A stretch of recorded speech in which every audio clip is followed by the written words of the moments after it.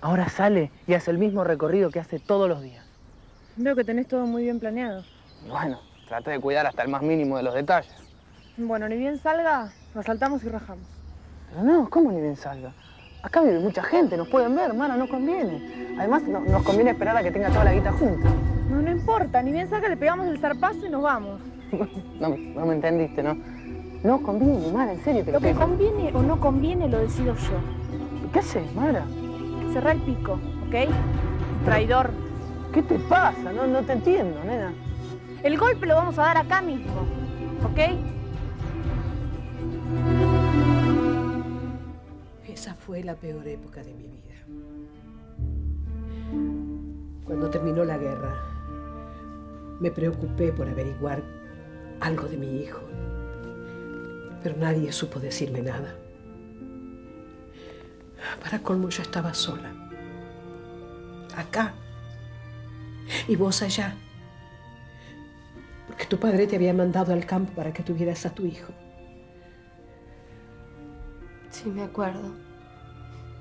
Para mí también fue una gran pesadilla. Tenía que llamarte a escondidas de papá. Y vos nunca tenías buenas noticias para darme. Hasta que un día Ramiro me llamó y me dijo que te enviaba a Buenos Aires urgentemente y en helicóptero. Fuiste directamente a la clínica. Y a partir de ahí es como si hubieras vivido en otro mundo. Pero, ¿cómo, cómo fue que te enteraste de la muerte de Miguel? Bueno, a- al principio lo dieron por desaparecido. Pero a los pocos meses me avisaron que había muerto en acción. Así fue como, como supe que nunca más volvería a ver a mi hijo. Quiero ver su tumba. Necesito llevarle flores. Por favor, Valentina, por favor. Mi amor, eso es imposible. Él quedó allá, en Malvinas. Y será una cruz más, entre miles. Era un muchacho. Era apenas un muchacho.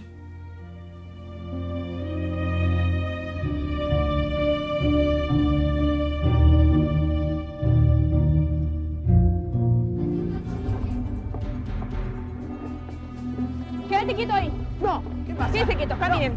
Caminen. No, quieto, yo soy cubano. No, Vamos, dame el maletín. Sácame, no, Dame el maletín. Sácame el revólver, toma, toma. Dame el maletín. Pero sácame el revólver. Camina, toma, camina, toma, abrilo, abrilo. Bueno, bueno. Abrilo, Pacha. Vamos, rápido, dale. Vamos, ahí está. Ahí está, ahí está. Está vacío, ya me lo imaginaba. Pero no, no entiendo cómo, trampa, no entiendo cómo puedo pasar, Mara, te lo juro. No te hagas el idiota, camina. No, por favor, por no, no me diga que usted tiene la idea de matarnos. No, no va a matar. eh. Si usted nos mata, usted va a ir en cana. Nosotros Dame las llaves del auto. Pero no, sale perdiendo usted, señorita. Por favor, le pido. Dame las llaves del auto. No, la llave del auto no. Dame las llaves del auto, no vas a tener por dónde respirar. No, el, el, el, el pipe en la nariz, por favor, No, no, no, Dame las llaves del no, auto. no, por favor, le pido. Dámelas. No, sí, vas a que se las matar, ¿qué vas doy, a sí hacer? que se las doy, tome, ¿Eh? con un caramelo, pero por favor, déjeme, déjeme, déjeme No, nos vas a matar, Déjeme no, Mara. Se merecen que los matemos, No, te dan lástima. no, Vamos, rajen, rajen. el auto. Sí, sí, Rajá. El auto no, el auto de Martín, tarado.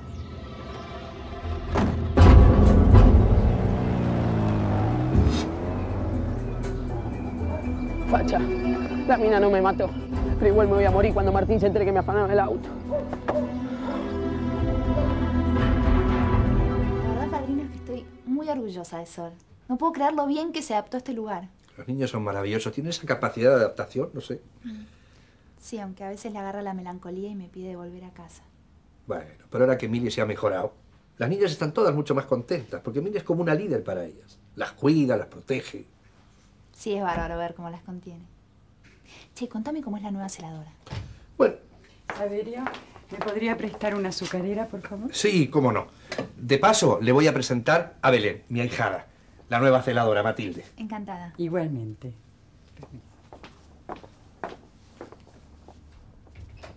¿Y? ¿Qué te parece?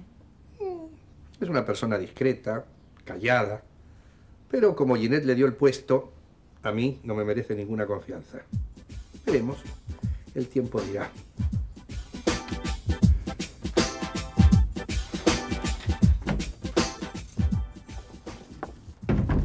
¿Qué tal? ¿Cómo va todo? ¿Qué tal? ¿Cómo? ¿Todo bien va? Estás un poco pálido, ¿no? ¿Te sentís bien? Excelente, estoy excelente, Martín. Ah, bueno, entonces estás necesitando unas vacaciones. Te veo un poco nervioso. Ah, pero puede ser que esté nervioso por el partido, ¿eh? ¿Qué partido?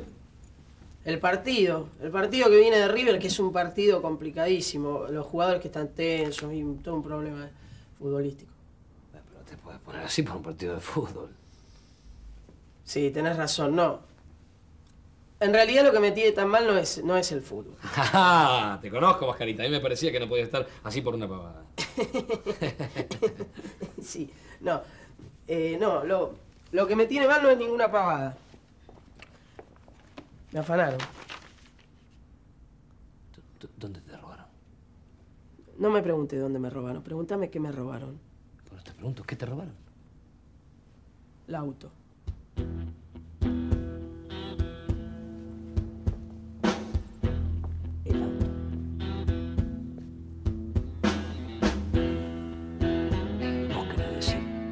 Mi auto? Pasa, Matilde, sentate, por favor. Bueno, ahora tenés que firmar acá. ¿Qué es esto? Este es el contrato por el trabajo en el hogar. Vas a estar a prueba por tres meses. No, pero no, no te preocupes, que vas a estar todo el tiempo que sea necesario, ¿sabes? Toma.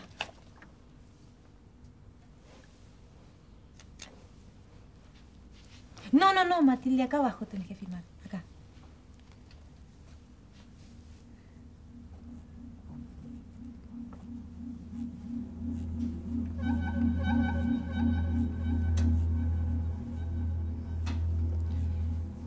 Yo no soy muy buena para estas cosas. No importa. Con que seas buena para gritar, castigar y hacer sufrir a las chicas es suficiente. En eso no hay quien me gane. Entonces empezás mañana, Matilde. Pobre huerfanita, no saben lo que le espera. El auto se lo afanaron esta tarde, Martín. ¿Pero cómo se lo afanaron? Así. Dios mío, pues, explícame cómo fue, qué pasó. Sí.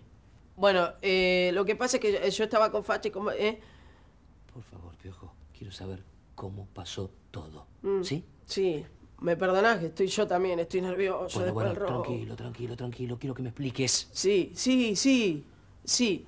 Este, bueno, viste que vos me habías mandado a lavar el auto. Bueno, yo fui como habíamos Te lo quedado. robaron en el lavadero. No, no, no me lo robaron en la lavadero. Lo que pasa es que yo me bajé a comprar una revista, un kiosco de revistas, porque viste que siempre se arma mucha cola en el lavadero, viste que van no taxis más vueltas, anda al grano, explícame qué pasó. Está bien, sí. Bueno, cuando yo me voy a subir al auto, vienen dos tipos y me encaran, ahí me apretan. ¿Cómo que te encaran? ¿Cómo que te apretan? Claro, me ponen un, un, un- un re- revólver en la- las costillas y, eh, claro, me hacen manejar hasta, hasta un descampado. Eh, eh, pero qué barbaridad, qué violencia. Pero, ¿Vos habías visto antes estos tipos? No, no, ¿qué lo voy a ver? Seguramente me persiguieron por el auto, que es un auto que eh, impresiona, que llama la atención. Escúchame, ¿y, y por, qué, por qué no me lo contaste antes?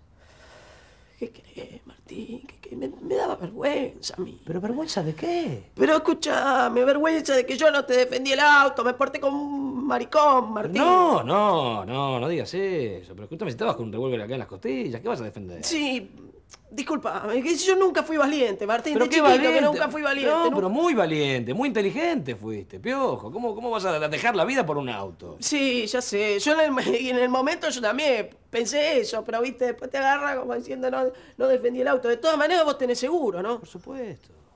Pero claro que sí, despreocupate. Lo importante es que vos estás bien, no te pasó nada. ¿eh? Yo llamo al seguro, eh, a mí me lo pagan. Ah. Tranquilo, Mm. tranquilo. ¿Estás bien? ¿Eh? Tómate un tecito de tilo. Bueno. No pasó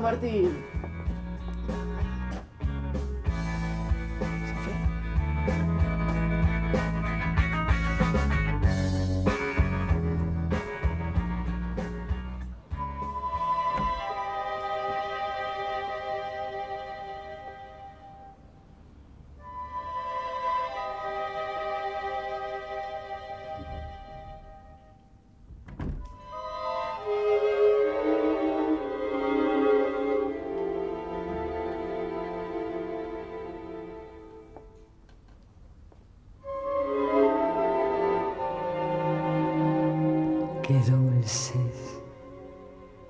Parecen angelitos recién caídos del cielo.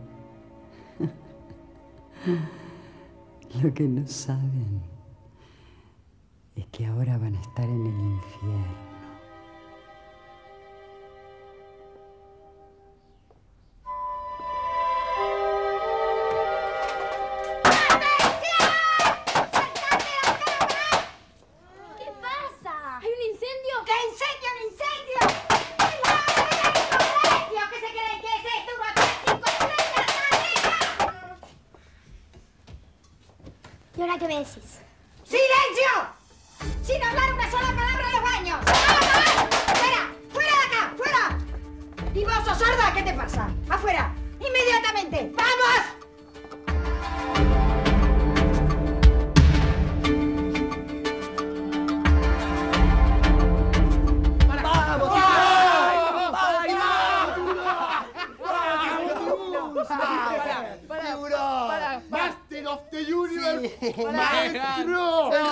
Querido. ¿Cómo lo empaquetaste a Martín? Dios Vamos. mío. Qué rico bigote tenés, Tano. Escuchame una cosa. Este, no, no, ustedes me aplauden, me tiran para, me tiran bastante bajito, pero me tiran para arriba, en fin, y no- no es así, porque yo no le quería mentir a Martín, no estén tan contentos, de verdad. Bueno, pero es tu, tu personalidad, sí, nosotros te queremos así, chamullero. No, no, no. Yo le mentí, le mentí porque, bueno, si le decía la verdad, Martín me mata, pero no era lo que quería hacer. Pero por lo menos así estamos un poco contentos. ¿Te, te- te estás riendo de mí? Ah, No, estamos todos contentos. ¿Por qué? Porque el facha recuperó su moto, a Martín el seguro le paga el auto, la mina vende el auto, se queda con su torta, listo, otra Sí, cosa. claro, ¿eh? pobre, mira, encima se lo tuvo que bancar a este y por lo menos tiene la guita, ¿no? Ah, Claro. ríanse que yo, yo sigo preocupado, viejo. ¿Qué pasa? ¿Pero por qué, fachita? Vamos, ya terminó todo. ¿Cómo que Contame tu pasa? problema. Te cuento, sí, vos porque no viste la cara con que me puso Mara, un odio, tenía en los ojos, me, me mataba. No, pero no, Facha, escucha, no te des tanta máquina, no te va a hacer nada, ya está, ya te reventó bien reventado, Ya Candy. está, facha, esa mierda, no te enterás nunca más nada en tu vida, ya fue. Claro, con la guita que se lleva, debe estar en Jamaica disfrutando. ¿Qué se va a vengar de vos, por favor? Samba reggae. Lo tiramos La, tano. la, la, Samba reggae. ¡Atención! La que no esté lista en cinco minutos se queda sin desayunar. ¡Vamos! Todavía no terminamos de cambiar. ¿Cómo no? Si ya le di tres. Vamos, empiezo a contar. Uno. Dos. Tres. Apurando, vamos.